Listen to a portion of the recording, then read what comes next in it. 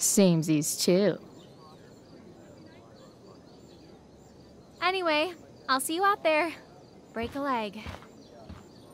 So, that happened? Just when I thought this day couldn't get any batshit crazier. Oh, hey, uh, that's mine. The tower is a tarot, you know. It symbolizes sudden change. I always pegged you for the dramatic type. I blame the company I keep. Sweet Tarnation, we're ruined. The show is ruined. That was quick. My dear young artists, a misfortune most unkind has befallen us. Juliet is waylaid. That infernal inferno is the culprit, closing down the roads and robbing us of our Ariel. Would that she could but manifest on her master's whim as a true spirit. Alas, devoid of an understudy, the situation is a dire one indeed. I'm afraid we may have to cancel. Truly, we are a cursed lot. Even my prodigious imagination cannot conceive of a worse turn of fate.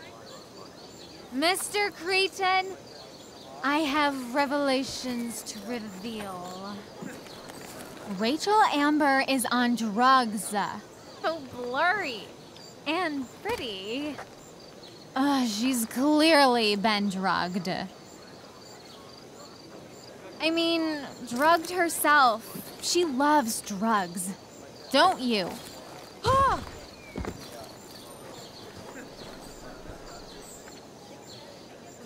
Touche, fates.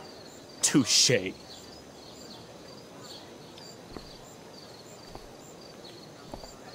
What? Uh, uh, oh, no. Mr. Keaton, No. Chloe could step in for Juliet. No fucking chance. At least until the road's clear.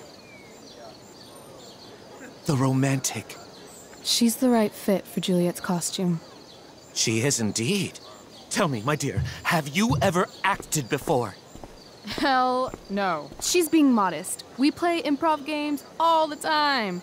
And she's fantastic at it. My dear, what if I told you that the entire fate of the production rests upon your slender shoulders? I'd say you're super fucked. Chloe, please. For me.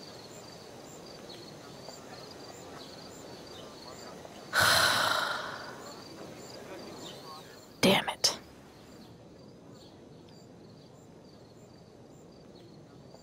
I can't believe Rachel's talked me into this.